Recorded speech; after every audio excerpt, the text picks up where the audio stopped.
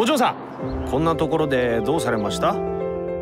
決して出会うはずのない敵国同士の二人。足がもし悪いやつだったらどうすんだい？悪い人はわざわざそんなことを言いません。あんまり不安だったら捕まってくれてていいんですぜ。